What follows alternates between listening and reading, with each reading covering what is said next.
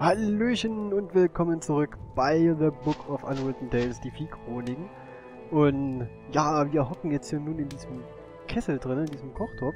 Wir müssen mal schauen, dass wir irgendwie diesem Yeti entkommen, wo der gute Professor Doktor drin hängt. Ähm, was haben wir? Nix. Ja, dann schauen wir doch mal, was können wir denn hier machen. Dann gucken wir uns doch erstmal das an, wo wir drin hocken. Wobei hier, wenn man sich das mal so überlegt, ne, zu der Zeit, äh, Winter ist ja recht kalt. In so einem schönen, warmen, gemütlichen Kochtopf sitzen ist ja auch mal was anderes. So, dann betrachte den Kochtopf.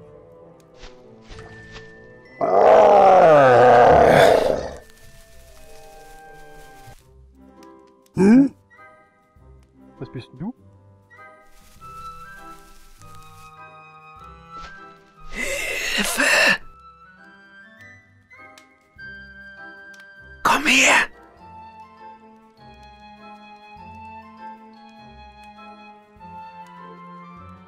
Lass dir was einfallen. Na toll. Mein Schicksal entscheidet sich beim Kampf zwischen einem großen weißen Monster und einem kleinen pinkfarbenen. Ich frage mich, was das für ein Vieh ist. Kapitel 2, gestrandet. Ja, das ist wohl das Vieh, worum es hier geht. Das sieht ja auch echt lustig aus. Ach, ich bin mal gespannt. So, Ladebalken, Ladebalken, Ladebalken. Kurze Zeit vorher.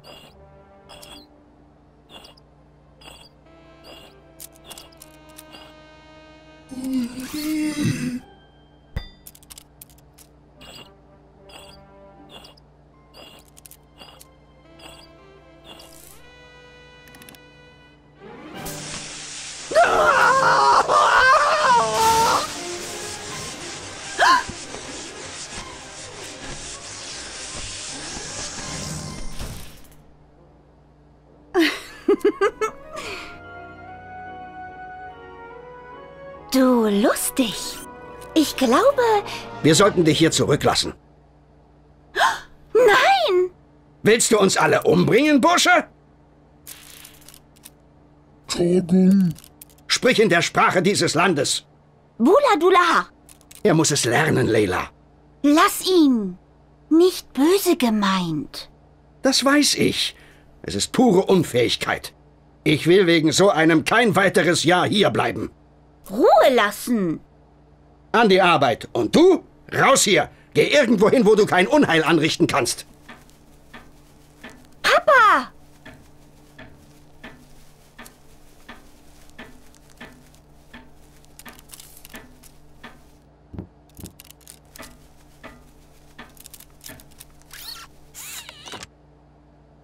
Chogung.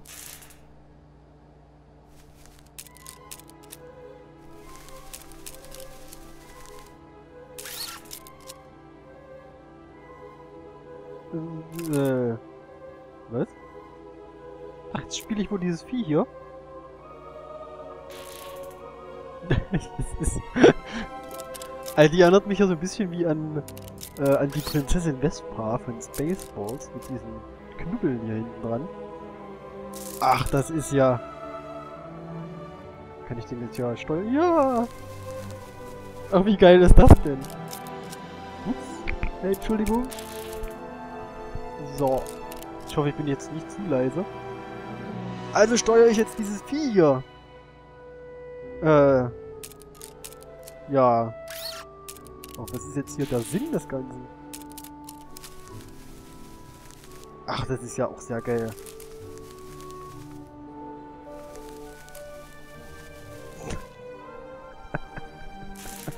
Na gut. Okay, ähm. So, was machen wir denn jetzt hier? Mikrofall. Hier reden wir doch mal. Ja, ziemlich kaputt. Mit Herz schneller. Ohne länger. Was? Ja. Geh hinaus. Dann gucken wir uns mal das Förderband an. Ach, der jetzt, wo er sagt? Stimmt. Reden wir doch mal mit Laila. Oder gucken wir es uns an? Ja, mhm.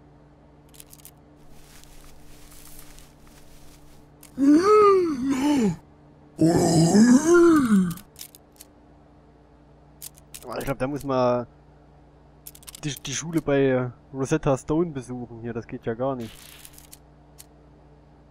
Beschädigung.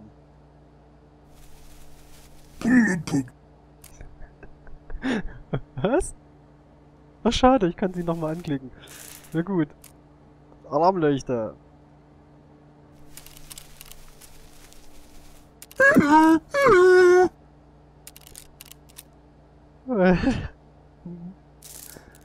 oh mein Gott.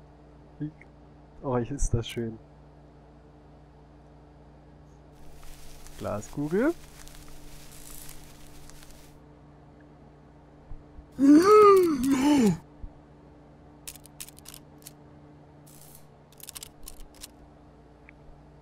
Die können wir mitnehmen. Verschwinde! Kannst du nicht jemand anderen stören? Ich will aber die Glaskugel. Ich weiß, dass Leila die Kugel gerne wiederhaben will. Aber Strafe muss sein. Na gut, dann eben nicht. So, haben wir denn hier noch irgendwas?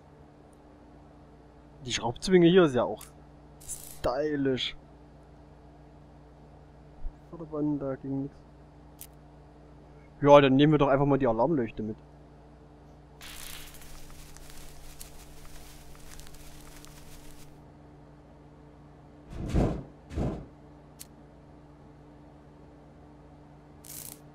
Was? Ich hab nix. Mal normal.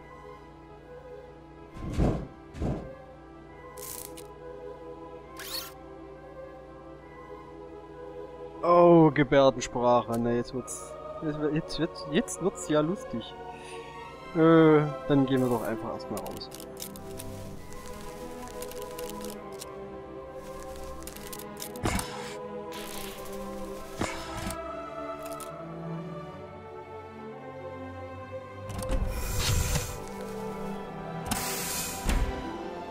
Oh, ein Pinguin. Das sieht ja süß aus.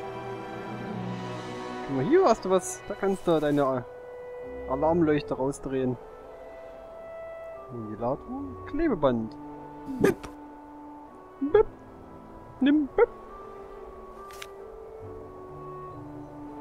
Hä? Äh.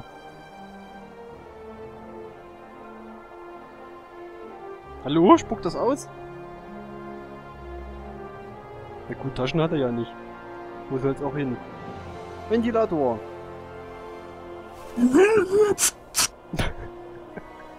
Was? Alter. Betrachte Kabel. Kabel betrachten. Dann.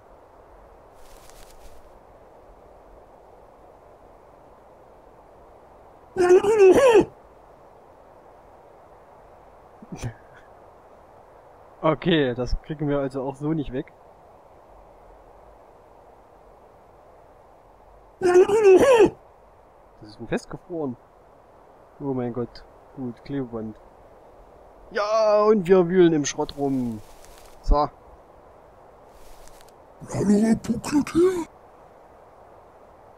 Was? Nö. Gut, da geht jetzt also nichts mehr. Ähm, also für das Kabel brauchen wir wahrscheinlich irgendwas anderes. Für die Leuchte da drin. Hier so ein Schlüssel, das wäre ja super. Klebeband, wozu wir das brauchen, keine Ahnung, jetzt zumindest noch nicht. Und wir quatschen einfach mal mit dem Pinguin. Oder gucken uns ihn erstmal an.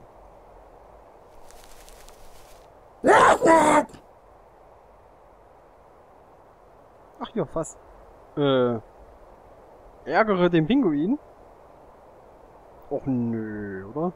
Na komm.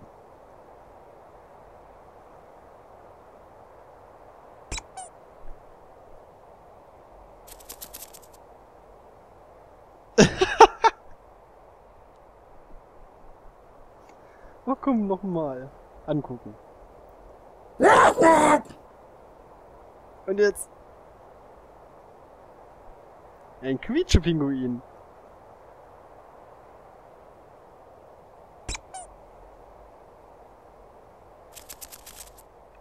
können wir das nochmal machen? Nochmal!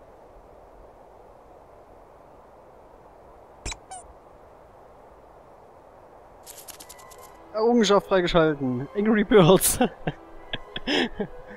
okay, wahrscheinlich ein kleines Gimmick hier im Spiel. Na gut, dann betrachte das Fass.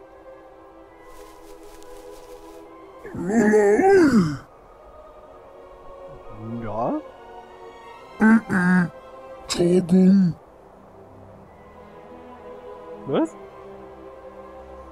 Äh, na gut. Hier hinten geht's weiter. Generator.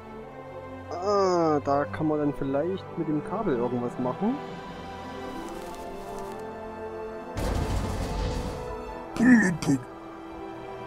Vermute ich mal.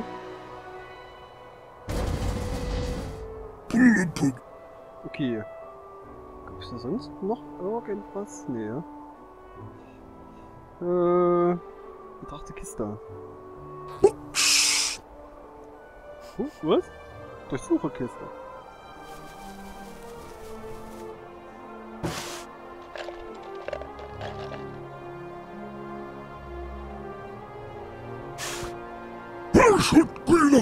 Was? Ein Strohhalm. Ach, natürlich. Das ist ja genau das, was ich jetzt brauche. Klebeband und Strohhalm. Mensch. Äh.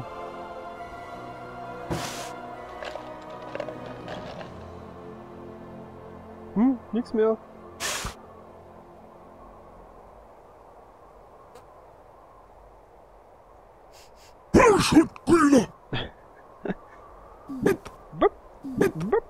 Ach, das ist ja cool. So, können wir denn hier irgendwie Strohhalm? Nö. Hier, Klebeband? Nö. Na gut. Das war auch jetzt nur so ein Test. Ja, Klebeband? Nö. Strohhalm? Erstmal hier gleich alles mit allem ausprobieren. Äh, das wäre ja auch sehr lustig gewesen hier, aber egal. So, geht's hier noch irgendwo lang? Eisfläche. Hier war nichts, nö. Gut.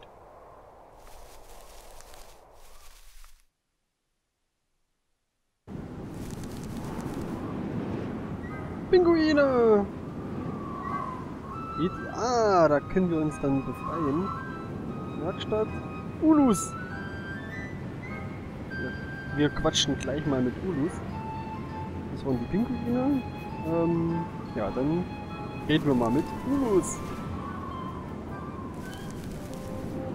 Hallo, der Tag. Oh oh.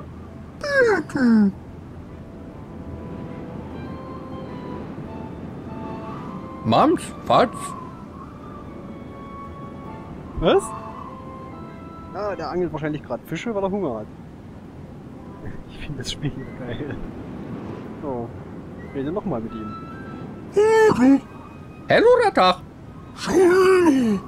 Oh oh.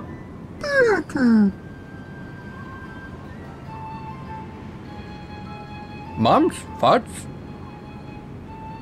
Oder wir müssen ihm irgendwas zu essen besorgen vielleicht, weil er hier nichts angeln kann. Hm, mal schauen. Pinguine!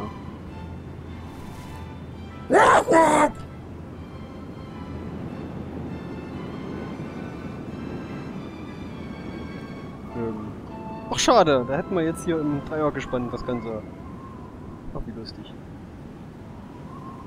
Was ist das hier?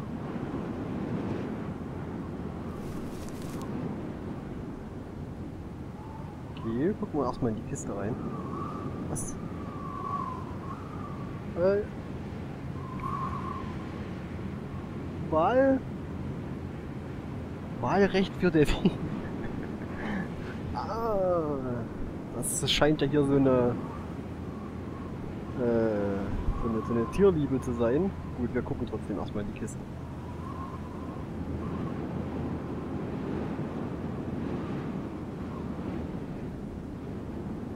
Nein, nein, nein, das ist nichts für liebe Tierchen. Das ist böses Menschenzeug und ich brauche es für meinen Protest. Hm? Keine Angst, die Kiste ist biologisch abbaubar. Sie kann dir nichts tun. Die hält uns wohl für ganz blöd. Ähm, wer ist das eigentlich?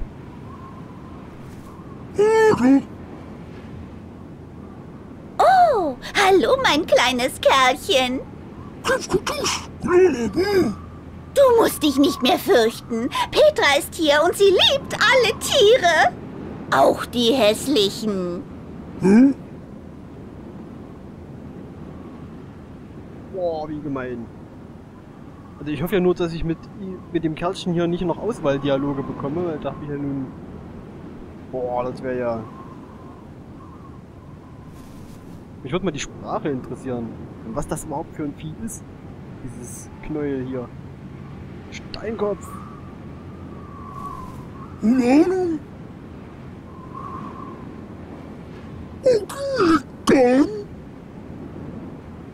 Ach klar. Ja, wahrscheinlich quatscht er das jetzt nochmal. Hm? Hallo? Na gut. Mit den Pinguinen geht nichts mehr. In die Kiste können wir wahrscheinlich erst rein, wenn die hier irgendwie weg ist. Ihm wahrscheinlich was zu essen bringen. Hm. Dann gehen wir doch mal zur Yeti-Höhle.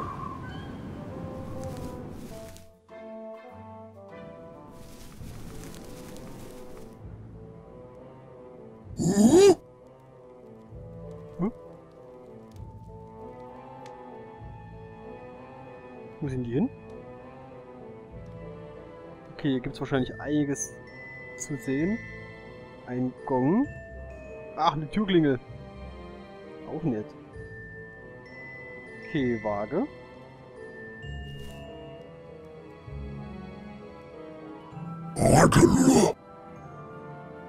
Die nehmen wir gleich mit. Und rein damit. Hm. Eine Waage! Hm. Gut, dann hier Holz.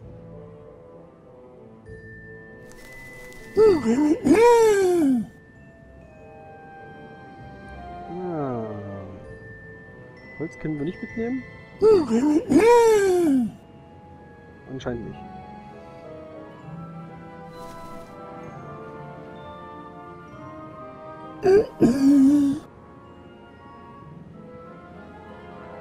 Okay, wenn ich in der Schnur ziehe, das mache ich erstmal nicht. So.